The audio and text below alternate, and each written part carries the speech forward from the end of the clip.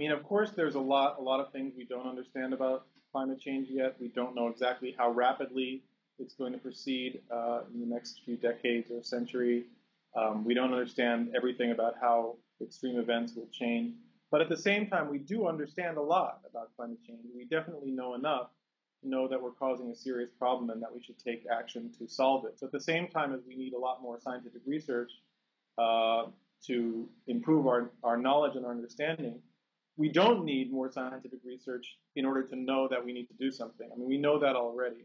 But I think the problem in motivating action is not that people don't understand the risk. I mean, maybe that's part of it, but I think the bigger part of the problem is that climate change is the kind of problem that human beings are not good at dealing with. Human beings are good at dealing with things that are familiar, that that they understand because they've happened before, and then we sort of don't have to uh, think about them in that in that scientific way. We know instinctively how to behave. But climate change is a problem where what's happening is something we haven't experienced before. So it's outside of our experience. And on top of that, it's happening gradually. So the, the worst impacts are, are well off in the future. And that means we can't rely on our instincts. We can't rely on our, our gut reactions. We have to really think in a, in a rational scientific way about what's happening and what are the risks and what kind of investments we should make for the long-term future. And, and human beings are really bad at that.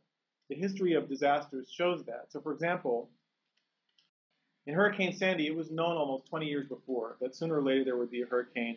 It would flood the subways, it would destroy neighborhoods, it would do a lot of things. There are reports were written clearly at the time that the government leaders knew this was the case and that some investments you could make would reduce those uh, impacts. But the, those investments weren't made, and it wasn't because the people uh, in power didn't believe the science. Because it seemed like a far off problem and they had more immediate issues uh, and that's the way climate change is. It seems far away to people. It seems like there are more pressing things. We have the economy and we have our health and we have all kinds of things happening today.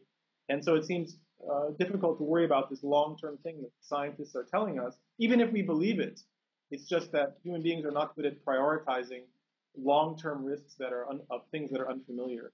I think that's the problem that we face, and it's a serious problem. It's a it's a climate change is not well suited to human nature.